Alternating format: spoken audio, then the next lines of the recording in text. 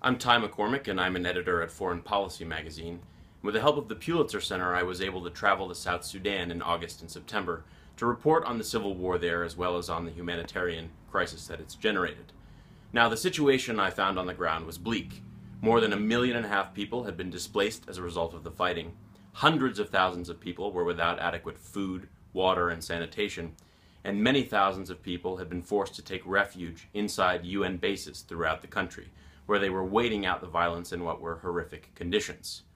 Now, the peace talks, meanwhile, that were taking place in neighboring Ethiopia were making very little headway. And actually, since the time that I was in South Sudan, they've collapsed altogether. South Sudan, it seems, will be at war for the foreseeable future. Now, the overarching question that I had going into this project is actually a very simple one. How did we get here? Because in 2011, when Sudan, when South Sudan declared independence from Sudan, there was a tremendous sense of optimism. The birth of the world's newest nation had been seen and widely hailed as a U.S. foreign policy success. And yet here we are, less than four years later, mired in yet another civil war. So over the course of six months, I conducted more than two dozen interviews with current and former U.S., UN, and South Sudanese officials in an effort to weave together a portrait of the road that brought us to where we are today.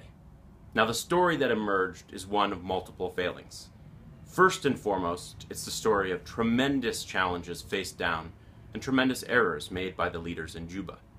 On a secondary level, though, it's the story of a U.S. foreign policy failure, one in which tensions between and within U.S. administrations alienated the South Sudanese government, reduced American leverage, and in some cases blinded U.S. officials to the warning signs that South Sudan's ruling party was breaking apart and heading the country in the direction of civil war. Now, I'll share just one piece, one little anecdote from the report, which appeared in Foreign Policy magazine, that I think speaks to this broader erosion of U.S. South Sudan relations that occurred during Obama's presidency.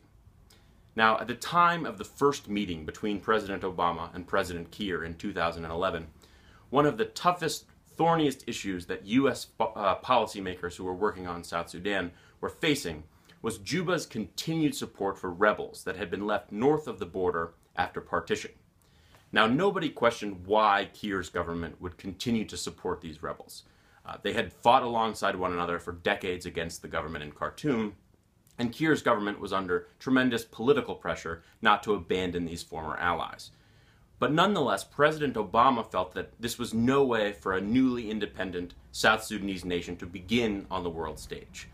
So after months of reaching out to the government in South Sudan and pushing them on this issue, and after months of getting nowhere, President Obama took the opportunity of his first meeting with President Kiir to confront the new leader with satellite images of his army's covert actions in Sudan.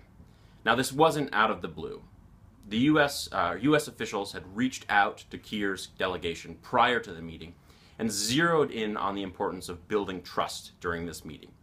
They had said basically, even if President Kiir is not prepared to acknowledge the covert actions of his military, he should at the very least tell President Obama that he was looking into the issue or that he would take the president's concerns under consideration.